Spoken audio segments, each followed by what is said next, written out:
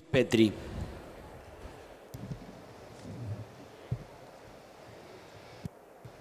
Gracias, señor presidente. Mire, la cuestión de las locaciones urbanas no es nueva en nuestro país y la necesidad de establecer regulaciones que fundamentalmente tiendan a proteger a la parte débil tampoco. Han existido en nuestro país dos maneras de legislar el grave problema de las locaciones urbanas producto de la crisis ocupacional, de la crisis de vivienda y fundamentalmente producto de los problemas estructurales que acarrea nuestro país y me estoy refiriendo a la inflación fundamentalmente que afecta los precios de las locaciones y los cánones y a partir de allí las respuestas que ha dado el Estado. La primera respuesta es fueron las leyes protectoras que se iniciaron allá por 1921 de la mano del gobierno de Hipólito Yrigoyen, que con carácter general y de manera permanente intentó regular el problema de las locaciones urbanas teniendo en cuenta de que la autonomía de la voluntad no podía regir con la misma intensidad que regía los contratos en particular, porque claro está, había una parte débil y había una parte que necesariamente debía ser protegida. Y por eso durante ese gobierno ya se incorporaron los plazos mínimos de duración, ya se establecieron las cláusulas respecto del desalojo y ya se estableció, por ejemplo, la prohibición de la exclusión de menores a la hora de locar. Y esto fue ratificado por la Corte en un fallo que posteriormente se termina extrapolando a todos los órdenes del derecho, que es el fallo hercolano, donde claramente ese fallo dice que cuando hay situaciones de abuso, cuando hay situaciones de abuso, el Estado puede y debe intervenir para proteger a la parte débil, para proteger, en este caso, al locatario. Pero posteriormente, señor presidente, y fundamentalmente a partir de 1943, con el gobierno de Castillo, se inaugura en materia de locaciones urbanas lo que se denominó la legislación de emergencia. Una legislación que estaba destinada a durar dos o tres años y terminó prorrogada por más de 30 años en la República Argentina con consecuencias totalmente negativas, distorsivas y en definitiva no cumpliendo el objetivo que buscaban lograr, que era proteger al locatario, muy por el contrario generaron que se terminara perjudicando a ese locatario. ¿Y por qué?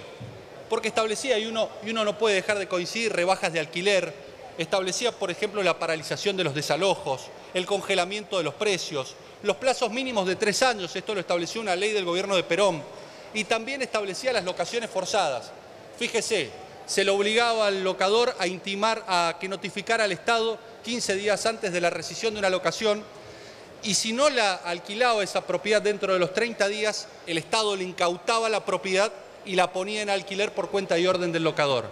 Esto generó consecuencias desastrosas para el mercado inmobiliario en la República Argentina y perjudicó a miles de locatarios que buscaban su vivienda y no la encontraban porque quienes alquilaban las viviendas una vez que terminaba el contrato de locación, inmediatamente las sacaban del mercado teniendo en cuenta que estas normas no favorecían los contratos de alquiler.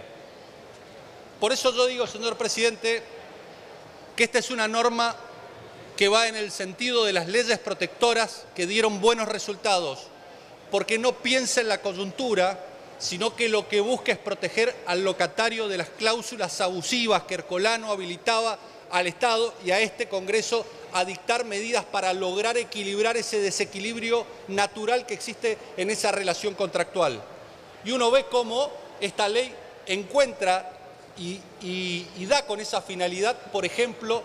al establecer con total claridad que los gastos extraordinarios y las expensas extraordinarias tienen que estar a cargo del locador. Algo que parecería ser razonable, pero que no ocurre, porque dejaron y desaparecieron de las expensas este, los gastos extraordinarios y pasaron a ser a cargo del locatario. Otra cosa tiene que ver con los excesivos gastos de entrada, otra cosa tiene que ver con el plazo de duración mínimo, que me parece que es clave a la hora de bajar los costos de la locación. Y otra cuestión central y, y muy importante es dejar de actualizar las locaciones a ojo de buen cubero y fundamentalmente al ojo de buen cubero del locador, porque claro está que se equivocaba. La mayoría de las veces en más, pero algunas veces, como usted bien lo decía, se equivocaba en menos, con lo cual establecer un índice que dé previsibilidad, que dé certeza respecto de los futuros aumentos, es clave para el locador sabiendo que no va a perder, pero también para el locatario sabiendo que no le van a hacer pagar excesivamente cánones locativos. Para terminar, señor presidente, concluyo diciendo una frase de Ortega y Gasset que daba cuenta en su libro La rebelión de las masas cuando él decía, las ciudades están llenas de gente, las casas están llenas de inquilinos, los hoteles llenos de huéspedes, los trenes llenos de visitantes. Lo que parecía ser un problema aparece como un continuo y ese continuo es encontrar un sitio. Y hoy, con esta legislación, le estamos garantizando a los más de 8 millones de personas que alquilan en la República Argentina ese postulado que es encontrar un sitio en la República Argentina en condiciones dignas y que en el futuro logren alcanzar ese dogma que la Constitución Nacional estableció en el 14 bis de acceder no ya como inquilino, sino como propietario a una vivienda digna. Nada más, señor presidente. Muchas gracias, diputado.